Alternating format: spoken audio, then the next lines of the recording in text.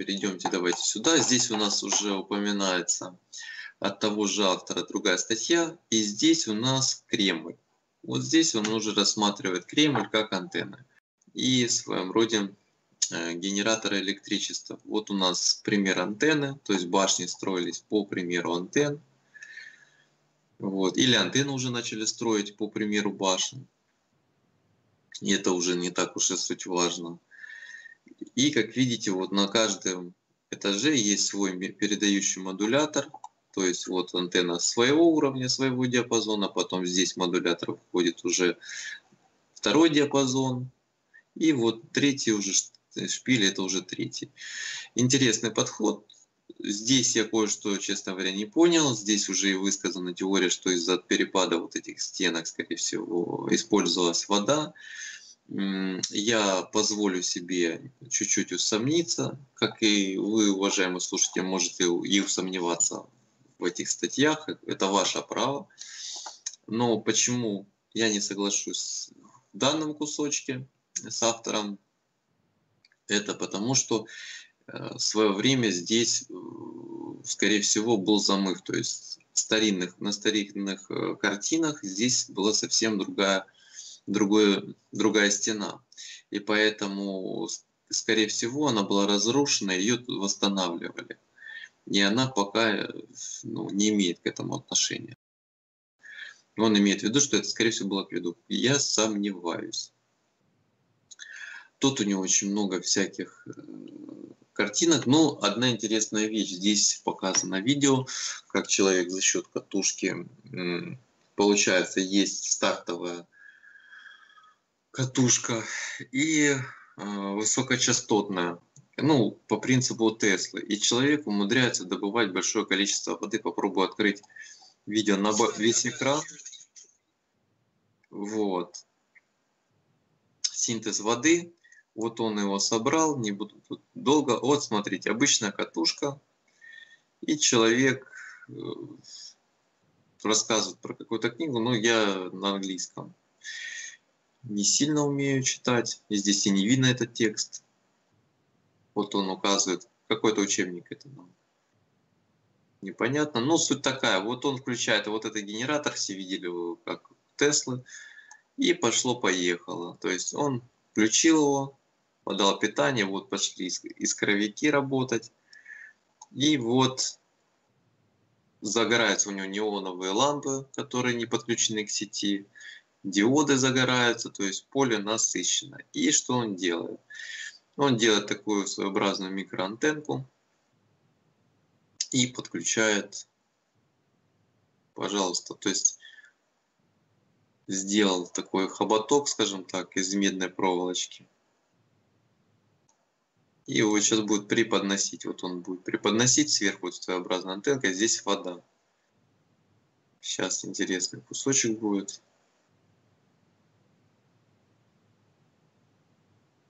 Долго он что-то объясняет. А, но суть не в этом. Сейчас он преподнесет. И вот, вот начинает преподносить. Там все объяснял слушателям.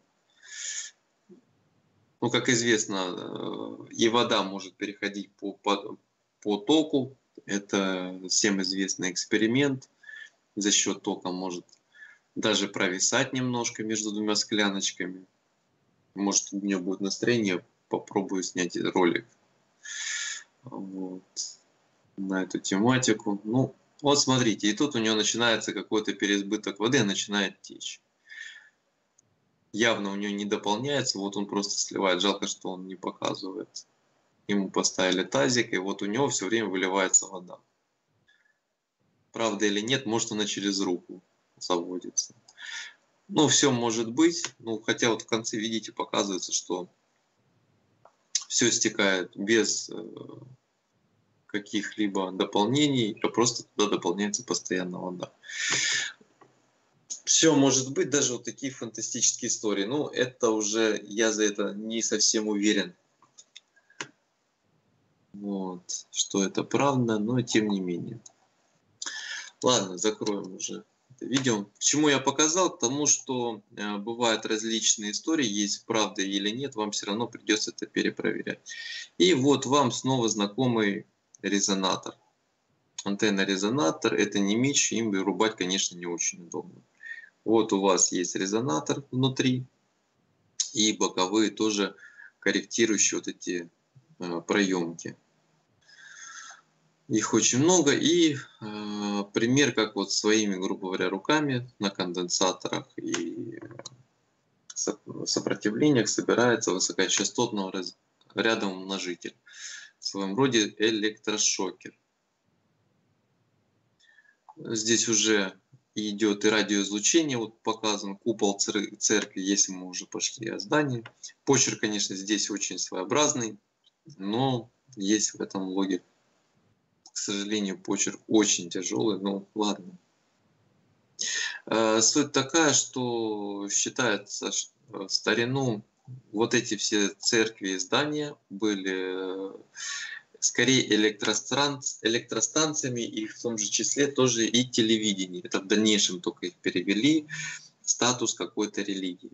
Э, люди, которые заведуют епархией, я больше чем уверен, прекрасно знают, э, чем они управляют. А люди, которые сейчас приходят, они до конца не понимают, э, что это за здания были и что они себе представляют. Благодаря таким авторам, как э, Про Владимир, ну вот мы можем возможность посмотреть эту подборку и увидеть свои, ну, привести свои выводы, конечно же. Вот вам тоже опять электронное устройство.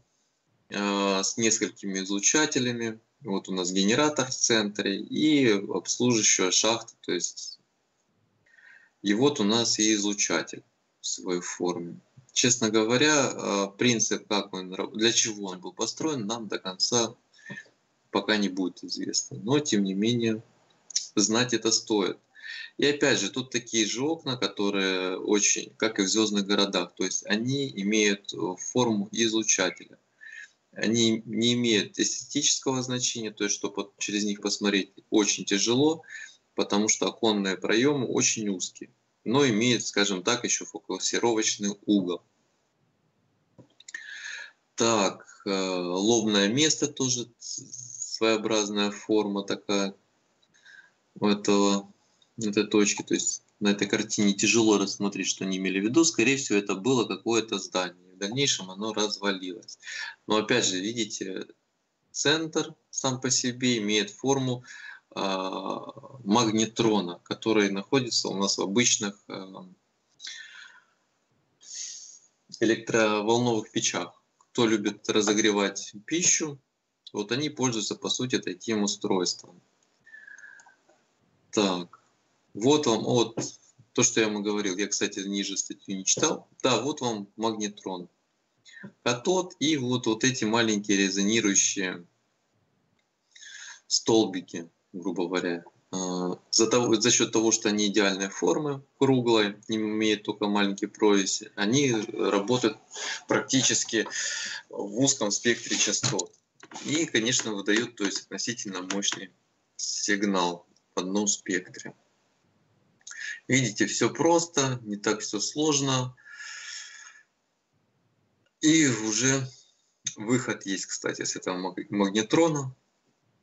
Ну вот, катод, анод, пожалуйста, и пошло. Система работает, и потом есть съем энергии. А вот эти маленькие кружки не являются и фильтрами, или резонаторами, усилителями. Все сразу в одном месте. Вот вам, пожалуйста, и вот это здание, которое было в каком-то из наших городов. Сейчас а, попытаюсь прочитать. Нет, я тут не вижу надписи. Все та же электроника. Так. Так. Э, да не может быть или может быть. То кусок трубы, и то все знают, как царь-пушка, это есть всего лишь как магнетрон э, этой системы. Да, очень интересный момент. Вот этот катод, который вот вы видите, э, царь Пушка, с нее очень многие смеются, и она э, просто не имеет такого предназначения важного.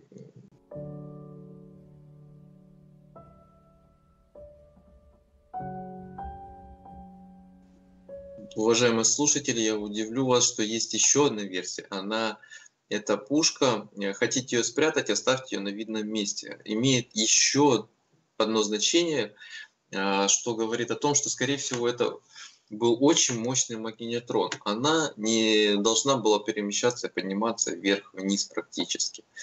Э, смысл этой пушки как магнетрона, то есть она больше выполняла фокусировку сигнала, мощного и наводилась на стены для разрушения. И, скорее всего, э, по другим источникам описывается, что выстрел был настолько мощный, электромагнитный, что э, никто не собирался из э, своей армии идти в атаку после этого. Все ждали, пока остынет, пока ну, оплавление, скажем так, испарятся. Очень интересный такой вот момент. Вот все думают, тут наши предки были дураки, вот не задумывались об этом. Вот, пожалуйста, автор вырезал и поставил как в систему магнетрона. Так, ну, скорее всего, все-таки это была пушка, и предназначалась она чуть-чуть по-другому. Здесь он просто ее вставил. Ну, здание просто как большие электронные устройства. Задумайтесь, почему как бы внутри все отделалось штукатуркой. Вот. Заметьте, полупроводники это у нас всегда являются оксиды. А известь у нас то химик, может, нам подскажет, что это такое. Как мне известно, у них известь тоже имеет такие свойства, как экранировать и переотражать сигнал. Кирпич же имеет еще маленькие, скажем так, э, горбинки. А в волноводах э, нежелательно, то есть чтобы поверхность была с какими-то щербинками либо выступами. Поэтому стараются все это выводить. Это не эстетическое решение, а просто именно технологический процесс. Ну, здесь уже проскакивает работа Леонардо. Заметьте, пушка такая не одна.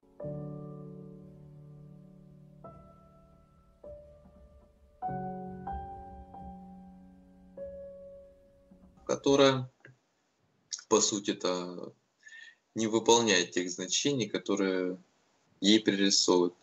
Все говорят, что она футуристическая какая-то, какая-то вот имеет просто такой вот вид. Именно эстетический, вот так бы хотел бы сказать. Так, это электронно-лучевая трубка. Здесь уже пошли уже моменты такие в электронику. Опять же, долго то есть объяснять мы не будем.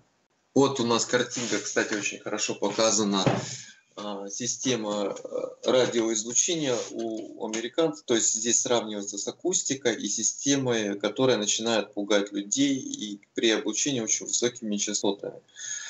Э, по сути, эта система, то есть иногда проскакивала в Ютубе, э, это называется уже психологическое оружие. Тут давайте прочитаем. В соответствии с характеристиками завода-изготовителя оборудование весит 45 футов, 20 килограмм и может излучать звук в 30 градусах только на высоких частотах 2,5 э, кГц. Из устройства 33 дюйма, 83 сантиметра в диаметре на максимальной громкости она может излучать сигнал, предупреждать о том, что э, так, уровень, который способен перманентно нанести ущерб слуху выше нормального человека до порога боли.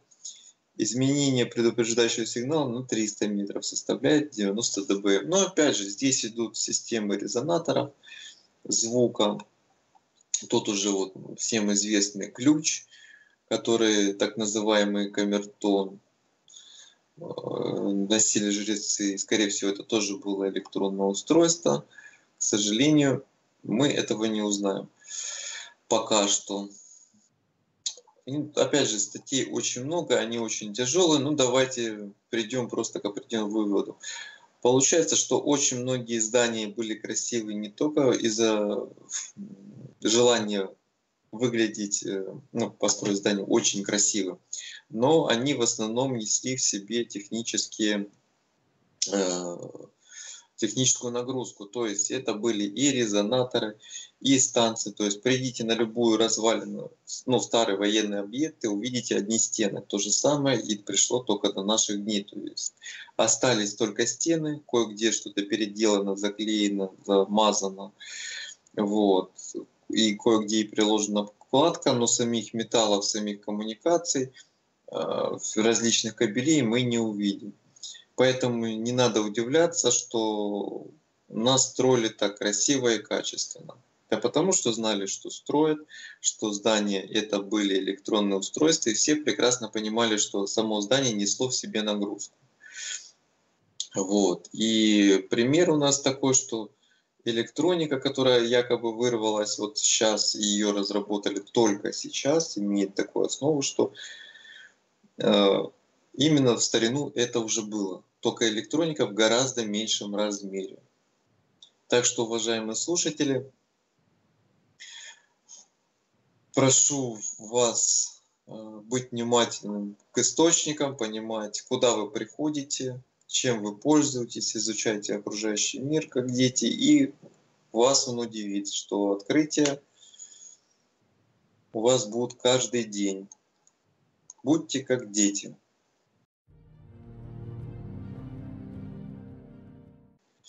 Так, на закуску напишем, что, ну, прочитаем, что написано в конце у автора. Ничего нового. Про все уже писалось крупно, крупно и мелко. Можно и далее уверять, что никакого электричества не было. Царь-пушка просто кусок бесполезной бронзы, а не какой-то там СВЧ, а тот выдранных из колокольни. Царь-колокол никогда не стоял юбкой вверх. Зубья не разрядник, а стена это просто для того, чтобы держать оборону. Главное, чтобы не пугало страусов. И так все старо как мир. Вот, так что удивительная статья, э, очень хороший труд. То есть найдите такого автора, как про Владимир, и вот э, прочитайте его статьи в свободное время, желательно человеком, который занимается электроникой вот, или увлекается, еще лучше будет. И вы для себя найдете очень много чего интересного. На этом всем спасибо.